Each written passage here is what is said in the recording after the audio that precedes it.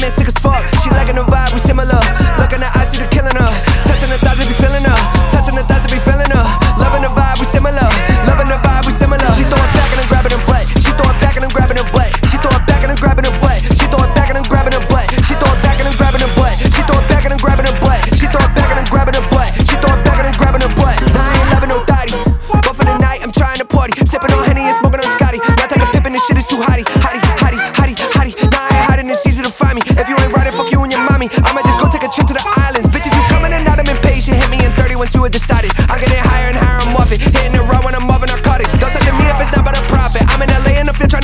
I'm in LA and I feel like a Dodger. Bitch, you a